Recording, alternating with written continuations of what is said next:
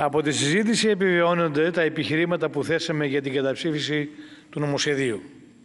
Δημοτικά και περιφερειακά συμβούλια γλάστερας, με δημάρχους και περιφερειάρχες παντοδύναμους, με δημοτικές και περιφερειακές επιτροπές υπεróργανα που θα υλοποιούν απρόσκοπτα ως μέρος του κράτους τους σχεδιασμούς των επιχειρηματικών ομήλων.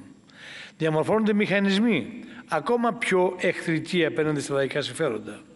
Τηλεδημο, τηλεδημοτικά συμβούλια, τηλεπεριφερειακά συμβούλια. Αυτά θα είναι. Που κάθε δύο μήνες θα μπορούν ίσως να εισάγουν κάποιο θέμα για συζήτηση η Δημοτική ή η Περιφερειακή Σύμβουλη.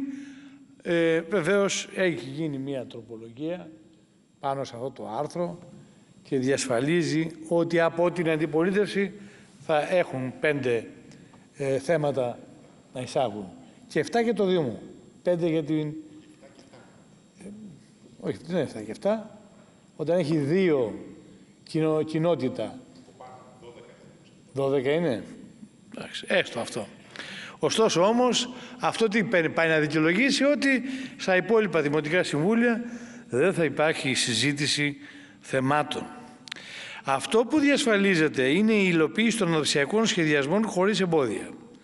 Μοιράζοντας πόρους που προέρχονται από το λαό στους διάφορους ομίλους ή επιλέγοντας έργα και υποδομές που συμφωνούνται και σε άλλο επίπεδο από αυτό του Δημοτικού Συμβουλίου.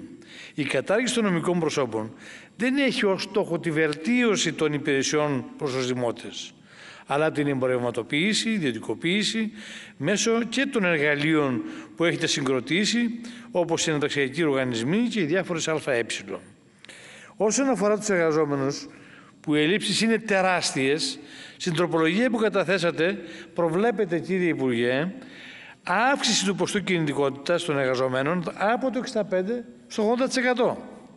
Έτσι δεν είναι; Άρα λοιπόν ε, διαψεύδεται και αυτό που λέτε για εργαζόμενους που θα ενταχθούν στο Δήμο και θα αξιοποιηθούν κτλ.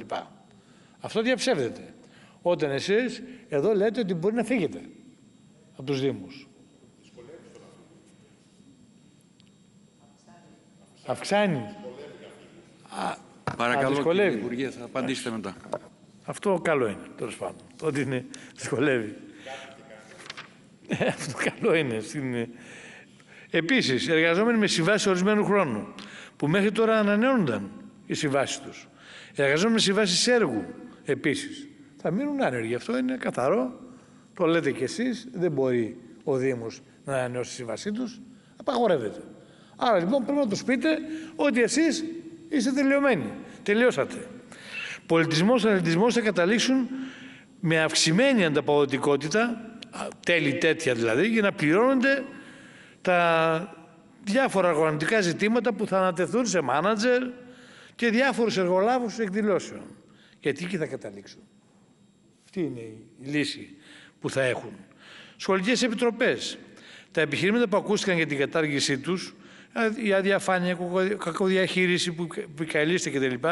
δεν δικαιολογείται από την τεράστια μείωση 40% που είχαν την τελευταία δεκαετία. Αυτή ήταν η μείωση των πόρων προς τις σχολικές επιτροπές. Για την παρακολούθηση των επιδόσεων, των ΟΤΑ, δεν μας εξέπληξε η συμφωνία που δήλωσε ο ΣΥΡΙΖΑ.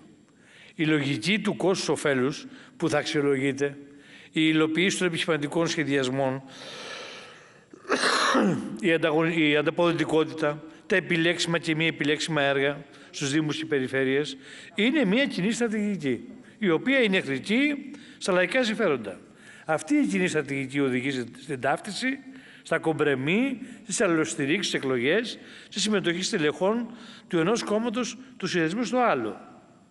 Είστε συγκοινωνούντα κόμματα γιατί υπηρετείτε την ίδια στρατηγική. Ο λαός οργίζεται με όλα όσα ζει, ω αποτέλεσμα αυτής της πολιτικής, πρέπει να δώσει απάντηση στον Πρωθυπουργό που θέλει ο χάρτης να βαφτεί πάλι μπλε και στις 13 περιφέρειες, όπως λέει και στους Δήμους. Αλλά για να δούμε όπως είναι σήμερα. Θα είναι μπλε ή τρικολόρε; Τι θα είναι η Κρήτη δηλαδή; Ποιος θα την λέει; Ο ΣΥΡΙΖΑ θα λέει ότι είναι ροζ; Ο, το Πασόκ θα λέει ότι είναι μπλε, ε, πράσινη. Και η Νέα Δημοκρατία μπλε, τρικολόρε. Και όπως θα είναι σε όλη την Ελλάδα, σε πολλές τέτοιες περιοχές που είπαμε και ε, στην πρωτολογία μας εδώ τα διάφορα κομπρεμί που έχουν γίνει. Άρα λοιπόν εδώ το, ο λαός πρέπει να δώσει στις εκλογές ένα ηχηρό μήνυμα ότι δεν πάει άλλο με την πολιτική σας και να κοκκινήσει τις κάλπες να γεμίσουν με κόκκινα γαρίφαλα. Κύριε Υπουργέ, ένα τελευταίο. Σας έκανε μία ερώτηση, σας την έχω δώσει. Αυτές οι εκλογές δεν θεωρούνται, λέει, εθνικές. Γι' αυτό τα καταστήματα θα λειτουργήσουν κανονικά. Έτσι δηλώνει ο ΣΕΛΠΕ σε μία ανακοίνωσή του και καλούνται οι εργαζόμενοι την Κυριακή των εκλογών να πάνε για δουλειά. Που άλλοι θέλουν να πρέπει να πάνε να ψηφίσουν, άλλοι είναι υποψήφοι, άλλοι θα είναι, ξέρω εγώ, άλλοι, σε άλλες δραστηριότητες και όμως αυτοί στερούνται του δικαιώματος.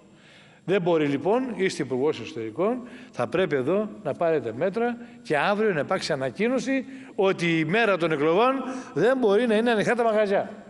Το λέμε δηλαδή γιατί είναι απαράδεκτο αν υπάρχει τέτοια ερμηνεία από το Υπουργείο Ανάπτυξης προς το ΣΕΛΠΕ που τη διακινεί μέσα στους εργαζόμενους. Ευχαριστώ κύριε.